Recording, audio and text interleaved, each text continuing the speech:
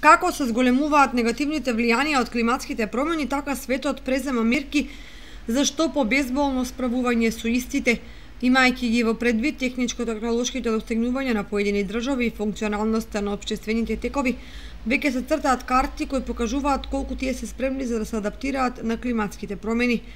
И како според некој непишано правило, токму развиените земји имаат многу поголем потенцијал да се прилагодат на планетарното затоплување, отколку што тоа е случај во сиромашните, односно неразвиените.